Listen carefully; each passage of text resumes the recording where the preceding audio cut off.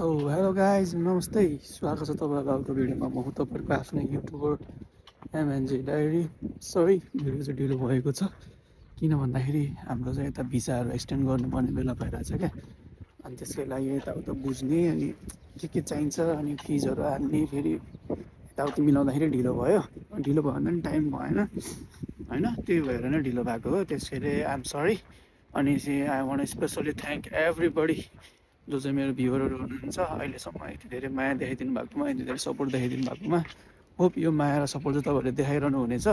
अनि म चाहिँ यत्तिकै टाइम टाइममा भिडियोहरू हाल्नु पाऊँ भन्ने आशा राख्दछु भन्ने कुरा हो होइन? तपाईँहरू सबैजना सन्चै हुनुहुन्छ होला म पनि सन्चै छु। अनि आजको भिडियो चाहिँ स्पेसिफिक टपिक त्यस्तो खास केही त छैन। त्यो एउटा एज अ अपडेट दिनु गइरहेको छु होइन? म्याथ्स ब्लगमा चाहिँ मास्टर्स आउने भएको छ है। मास्टर्स आफ्नै मास्टर्स कोर्स पनि ल्याउने भनेर नाइस ब्लगले चाहिँ एउटा वेबसाइटमा पनि दिइसकेको छ होइन? तर त्यो चाहिँ अहिले अझै भ्यालिडेसनको लागि चाहिँ भ्यालिडेसन भइसकेको छैन। मतलब भ्यालिडेसन भइसकेको छैन भन्नु मतलब लागु भइसकेको छैन होइन?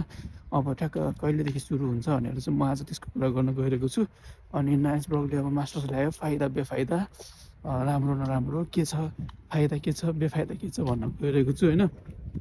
अब अनि रिक्वायरमेन्टहरू के छ डेडलाइनहरू के छ भनेर भन्न गइरहेको चाहिँ मास्टर्सको लागि। ध्यान दिएर हेर्नु होला भिडियो अन्तिमसम्म हेर्नु होला। तपाईँलाई हेल्पफुल हुन्छ है। अनि के अरे त्यो नाइस ब्लकमा पढाउने कोर्सेसहरूको बारेमा होइन?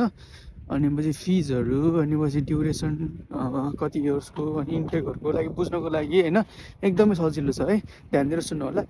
के अरे इस्ट के अरे नेक्स्ट ब्लक बिजनेस कलेज भनेर हाल्नु गुगलमा अथवा क्रोममा क्रोममा जानु अथवा कुनै पनि एउटा ब्राउजरमा जानु होइन?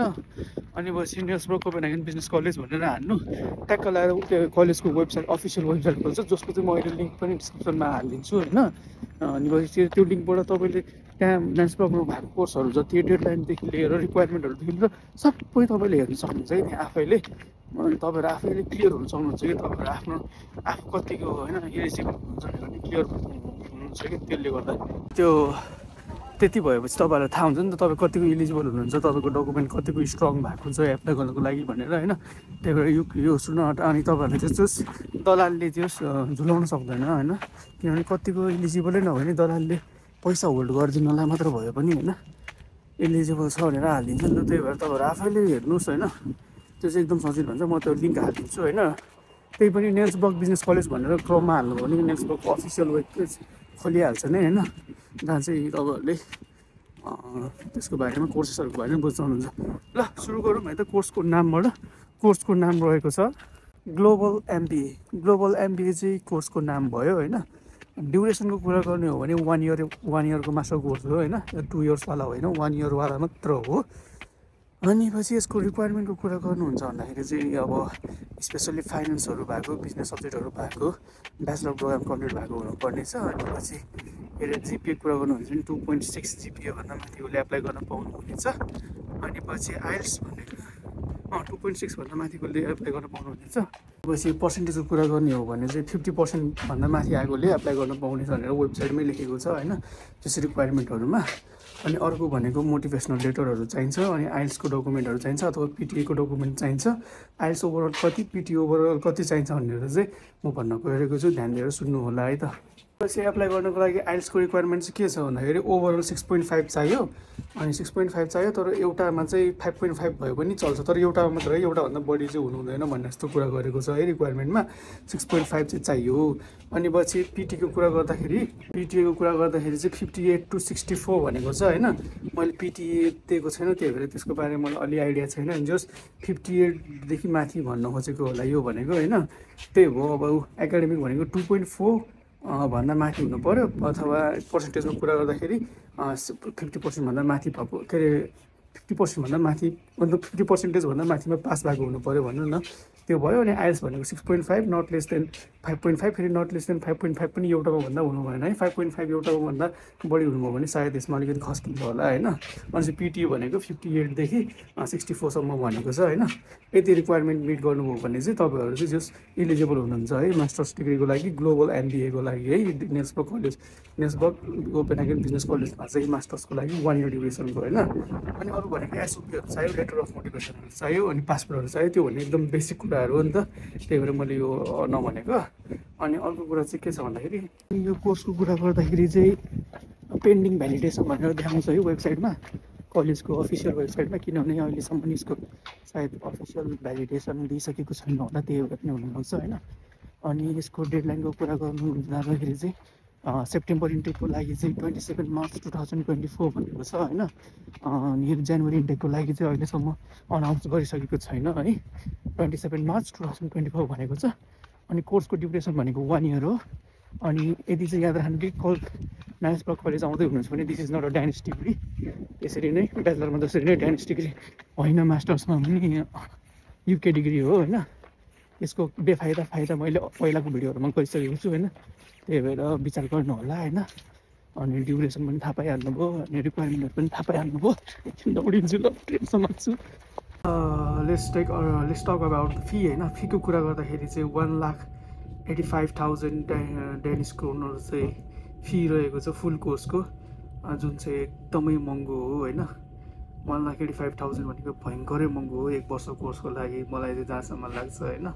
किनभने हामी थ्री इयर्स कोर्सको ब्याचलरको लागि चाहिँ टु लाख सेभेन्टी थाउजन्ड छ क्या अनि वान इयर्सको लागि चाहिँ one lakh eighty five thousand चाहिँ लगभग लगभग आधी नै जस्तो आधीभन्दा नि बढी हो क्या होइन? समथिङ त्यस्तो छ त्यो चाहिँ एकदम महँगो तपाईँहरू आफै कन्भर्ट गर्नु होइन? जसमा स्क्रिनमा कति हुन्छ भनेर नेपालीमा लेखिदिन चाहिँ लेखिदिइराखिदिन्छु होइन? तर अहिले ट्याक्कै चाहिँ मलाई ट्याक्कै थाहा भएन। यस one lakh eighty five thousand Danish kroner चाहिँ यो फुल कोर्सको रहेछ। अनि पछि अब तपाईँहरूलाई आउँदा फाइदा कि नआउँदा बेफाइदा के अरे फाइदा भनेर चाहिँ तपाईँहरू आफैले सोच्न सक्नुहुनेछ। यो कोर्स चाहिँ जम्मा वान इयरको हो। तपाईँहरू डेनमार्क आउन पाउनुहुन्छ तर ड्यानिस डिग्री होइन यो होइन? इट्स अ युके डिग्री अनि पछि पहिल्यै कुरा गरे जसरी नै। अब ड्यानिस डिग्रीको जस्तो फाइदा छैन। अनि कोर्स पनि जम्मा एक एक वर्षको अनि महँगो पनि त्यत्तिकै महँगो छ होइन। अनि पिएचडब्लु पनि त्यस्तै हो होइन। मास्टर्समा आउनु भए पनि छ महिनाको दिन्छ छ महिनाको पिएचडब्लु भन्ने खासै राम्रो होइन होइन। त्यही भएर विचार गर्नु होला है। रिक्वायरमेन्टहरूको कुरा गरिहालेँ फीको कुरा गरिहालेँ अरू के कुरा गर्नु बाँकी छ त? अर्को भनेको त्यही हो तपाईँहरूको कुन कुन सब्जेक्टहरू भयो भने अब फाइनेन्स सम्बन्धी मार्केटिङ सम्बन्धी बिजनेस सम्बन्धीको तपाईँहरूले ब्याचलर प्रोग्राम कम्प्लिट गर्नुभएको छ भन्दाखेरि भने चाहिँ तपाईँहरूले है राम्रोसँग एप्लाई गर्न सक्नुहुन्छ है अनि रिक्वायरमेन्टहरू मिट भएको छ भने चाहिँ तपाईँलाई प्लस पोइन्ट हुन्छ भनौँ न। ब्याचलर के अरे ब्याचलर डिग्री चाहिँ फाइनेन्स मार्केटिङ बिजनेसहरूकै सब्जेक्टमा गर्नुभएको छ भने होइन एप्लाई गर्नुभयो भने पनि जस्ट तपाईँहरूको त्यो चान्सेस चाहिँ हाई हुन्छ भनौँ न। अनि पछि आइल्स भनेको त्यही मैले अघि भनिहालेँ त्यतिको कुरा गरिहालेँ होइन। अब म त्यो वेबसाइटको लिङ्क पनि राखिदिन्छु तपाईँहरू चाहिँ इजिली गएर एक्सेस गर्न सक्नुहुन्छ अनि राम्रोसँग हेर्न सक्नुहुन्छ अनि डिसिजन लिन सक्नुहुन्छ होइन।